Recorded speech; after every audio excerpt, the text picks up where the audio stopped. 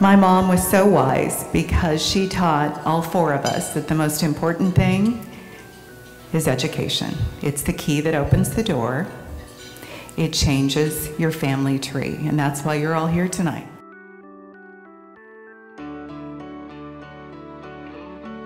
I just want you to know how excited I am that you all took the time to show up and really help support a tremendous organization. Uh, a few years ago, I had the opportunity to speak at one of their functions. I didn't even know what Helping Hands for Single Moms was. But as I got to know everyone and saw what I was into, it just struck home for me. I came from a single parent household. My mom raised seven kids all by herself, but she did a tremendous job. I just want her to stand up for a second so I can acknowledge my mom, please. This organization does is they find a way to help the single moms get through college, empower them to be able to live a life they didn't even dream of, and most importantly, so their kids see that. This opportunity here, what you are about to do, lets a kid know there is a future in the greatest country that mankind has ever made for them if they just give all that they can. And thank you for coming here tonight. So much of the journey was part of who made me who I am today. Um, I'm grateful for even the struggles because it absolutely molded me into the woman I am, and college taught me that I was worth it. So even if I had no degree at the end, going to college taught me something that I was told from a very young age that I couldn't do it and I wasn't worth it. And I got to the end and I was like, I'm worth this and I can do this for myself and for my child. And so it was an incredible experience. Now, how do we help them? Helping Hands for Single Moms does that with scholarships, $1,500 or 3,000.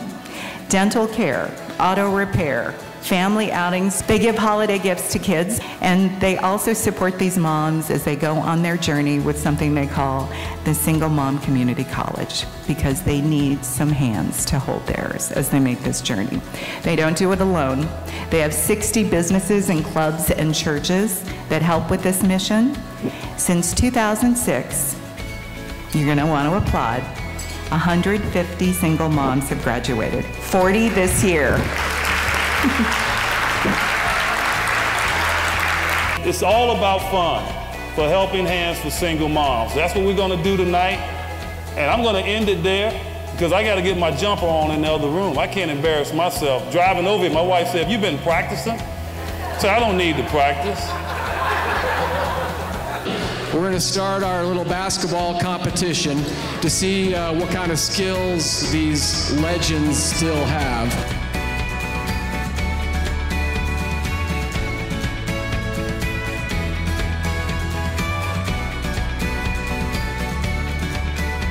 One, two, cha cha cha. Left, now the left foot.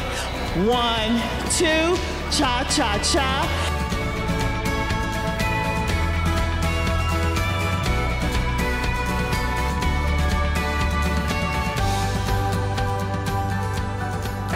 Thank you to all the players, the athletes, the friends of Eddie's that have come here. We now invite you to go to your tables. Now, when they get to your table, hey, they're there for you. Talk to them, get to know them, ask them all kinds of questions about their career and their life and things like that. But uh, spend some time with them. They're here for you. And it's events like this that they want to get to know you and they want to sign autographs. We want you to spread the word on Helping Hands for Single Moms because this is a tremendous organization and it's needed. It's about time we concentrate on the parents. Yeah, the kids are important. A lot of organizations support kids. But why not support the mom who has to be the mentor in the house and help her go get her education and be able to take care of her kid so that kid can look up to his mom in the house instead of having someone else.